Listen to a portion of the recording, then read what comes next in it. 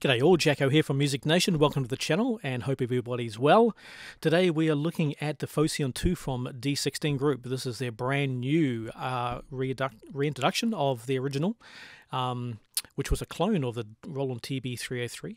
And uh, this is more like an expansion than a clone. It does clone, but it's uh, it's got a lot lot more to be offered now, which you'll see in a second. So um, we have a full written review of the Phoscyon 2 over on Music Nation now. So feel free to shoot over there and have a read of that, and you'll find a lot more kind of in-depth information. Today I'm going to show you how using Bitwig Studio here I can get a really nice big fat sound and a big fat kind of psytrancey sound, um, reminiscent of Rebirth if you remember that, the the OG kind of soft synth, you know, from Propellerhead that kind of got litigated out of existence, unfortunately. But um, you can still kind of get the similar sound with Phoscyon and, and a few other bits and pieces. So Rebirth had two TB303 bass lines, and I had a 909 drum machine and an 808. So D16 do both those, the 909, which I have here.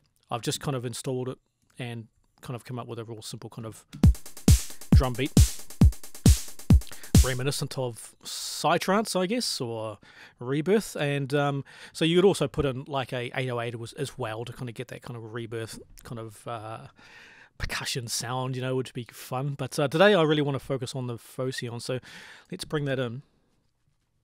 So fantastic piece of software having so much fun with it um, like i said it's it's it does clone the 303 but it, it's really like this is the 303 section here everything else is added so it does a lot more than just that, which is super, super cool.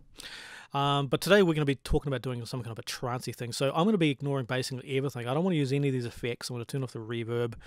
I'm not going to use any of the expansion stuff. So we're going to be working on the um, pattern sequencing down here, or the piano roll they call it. Uh, and the effects. Now, if you don't see the piano roll, come down to the GUI button down here, and you'll see in sequence view you can change it. So it might be on this view here. This is the uh, the original um, step sequencer look. We don't want to use that. We're going to go piano roll for reasons you'll see in a second. Now, first off, unfortunately, there is no way of splitting the delay on this, which is a bit of a bummer because the original Rebirth, if you remember, you could actually pan the delay left and right, and each of the TB303s left and right, because there were two of them, right? So you can't do that, unfortunately, with this, so we need to kind of fake it. So inside um, Bitwig here, we're going to do a little bit of uh, trickery. We're going to add in a channel splitter which is down here. Chuck that right in right there. Did I do? Yeah, there we go. So now you'll see we have left and right coming out there. So in the right-hand channel, I'm going to chuck in a delay unit. And you don't need anything flash, just a simple delay. This one here will delay one will do. Chuck that right on top of there. So now you'll see that the right-hand channel is going to this delay unit. Um, thirds is good. We want to keep it not filtered, so full that, and bring the feedback quite a bit back. So now we should get a nice wide, very nice, and bring that mix 100%. There we go. You don't want too much feedback because the original uh, Rebirth didn't have that much feedback. Something like that. Okay, so there we have a fairly plain Jane kind of rebirthy sound just coming through one TB303. So let's get into the fun part. So, okay, first off, this pattern sequence here, it is such a clever little thing that you want to kind of um, learn. So it has two sections here, edit and random. First off, we're going to go to random. This is where really the magic happens. You'll see there is a draw button right here in the middle, which is effectively randomization, but it's not, it's more than that. It kind of means, um, I see it more like, like a lottery draw right? So it draws out of the bucket a bunch of stuff, and then you can just how much of that you want. So each of these dials down here allows you to dial up the amount of randomization that you get, if that kind of makes sense. So and over here, anything that's red means it's going to be drawn or randomized. So say slide accent, you can they can all be randomized. Okay, so if I push draw now, you'll see it just comes up with a kind of a thing, a pattern which is mostly useless for us. So what we want to be doing for a nice trance bass line is that we just want one single note, right? So let's get rid of everything other than one note. So this note here, which is an F. So now it's only going to draw a single note. There it is there. And the note slider, note dial you see is halfway. So if I brought this back, you'll see it reduces the amount of notes. And if I take it all the way up, it adds them all in, which is what we want for trance music. That's more like it. So same thing here with the slide. So let's say the slide button, I'll just bring the slide and the accent back to zero. So it's no slide or accent. So all we're looking at here now is a single note and then these octave things here. It's quite good, happy with that. So we'll bring in the slide.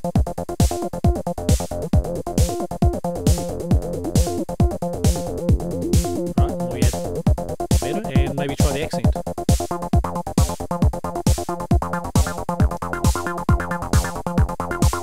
So you can see already we're getting some great groove happening just by mucking around with the, the randomization features. So let's say you're not happy with something, say this accent just isn't quite doing it for you, just unselect everything else, including the slide. So just the accent is now red, which means it's the only thing going to be randomized. So I'll redraw the accent. Okay, so now we have a new selection that we can dial in.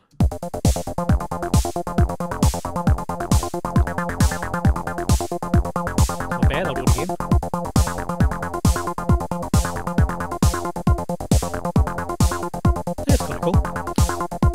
the slide, notes.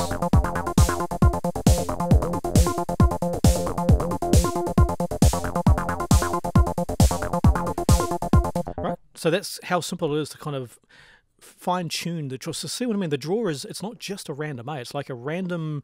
Uh, I'm going to do it again. I'm going to do another random. See what we get. This is the entire thing is going to be randomized now. Yoink. Yeah, that's kind of cool.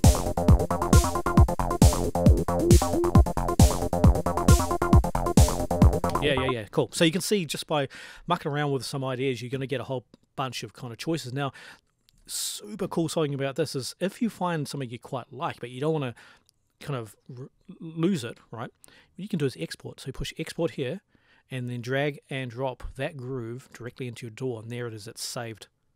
So good, eh? So now we can just go try something else.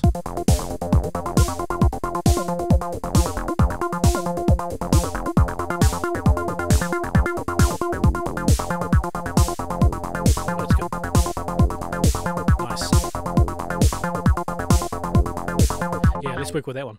Cool. So that's our pattern sorted out. Now, in the edit mode, come back here, you have a really cool feature here called step length, which effectively is gate. So uh, this will really make the notes quite staccato. Especially if I just remove the slide.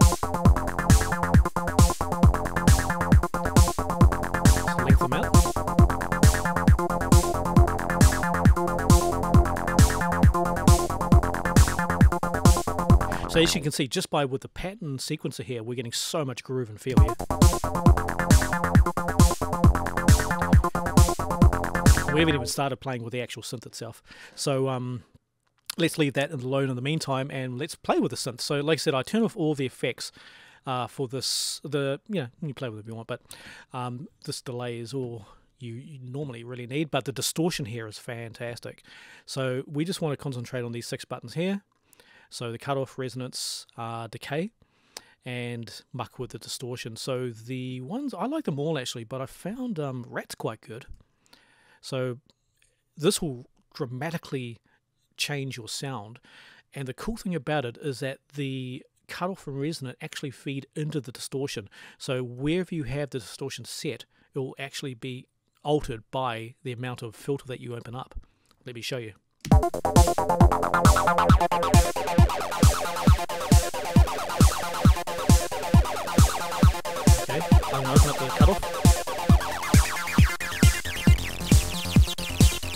that?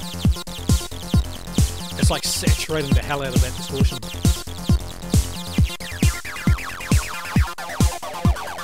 It's so good.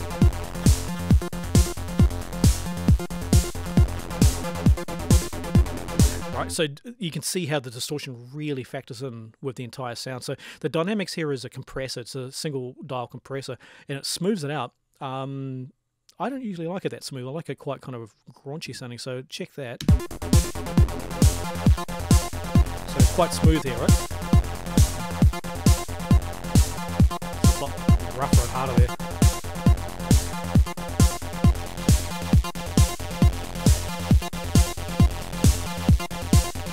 Try uh, this bias overdrive. It's nice.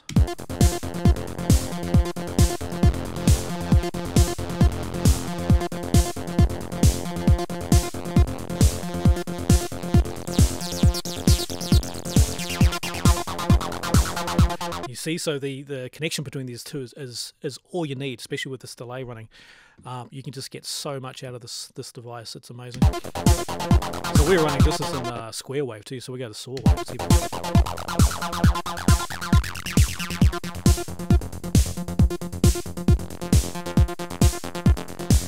The drive just adds so much character. I find the uh, the diode a little bit kind of thin.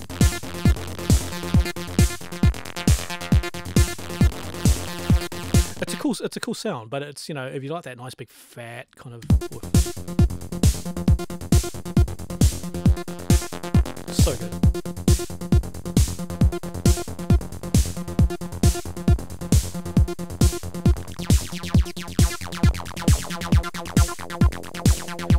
Okay, you can see how easy it is going to get lost in this this machine. Eh? So so all of this is dictated to by what happens down here. So so this is the tonal side of it, and of course this is the groove side of it. So you can really get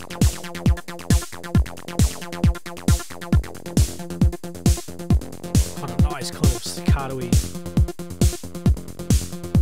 real bounce, and then we'll bring the gate up a bit, lengthen them out, and bring in some of that slide.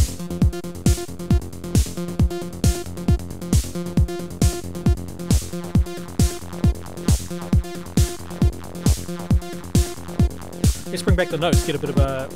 Because at the moment we're running 16ths, right? So I'll bring back these notes a wee bit.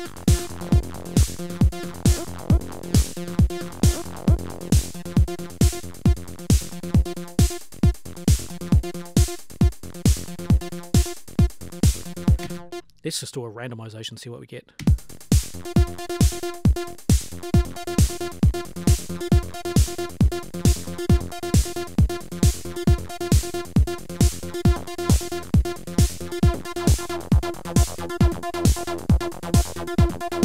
So, oh my god, it's just days and days of kind of mucking with this. And the great thing about it, like I said, you can export these. So when you find something cool, just export it and you've saved it.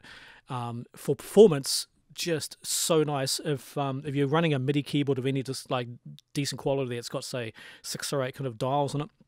Um, I've got a Yamaha montage here. Let me just go into remote mode and you can program all these kind of uh, MIDI controllers, right? So let's obviously you want to do cutoff would be a good one. So you go learn, was it there? Learn.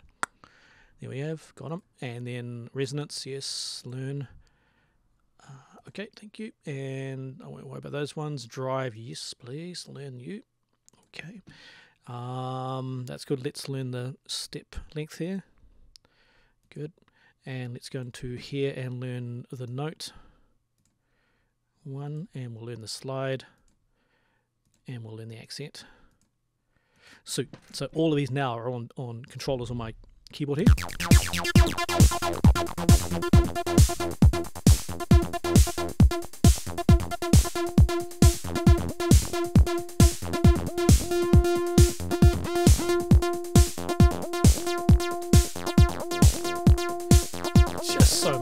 Say that's a little bit higher, just transpose it down a wee bit.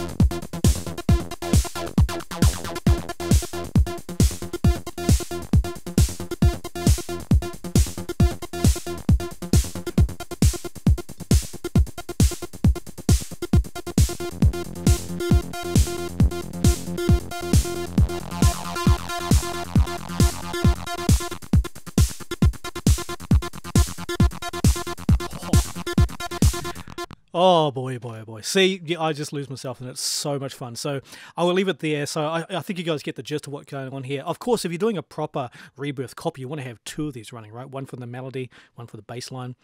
Um, and oh boy, it could get it could get nasty. so definitely go check out uh, Phoscyon 2 from D16 Group. It's about to be released in this month. Fantastic software. And uh, we have a full review, of course, over musicnation.co.nz. Um, we are a New Zealand music channel, in fact, but all are welcome. We love our international fans and friends, so do come over. And thanks so much for watching the video, and we'll see you on the next one. See you, bye.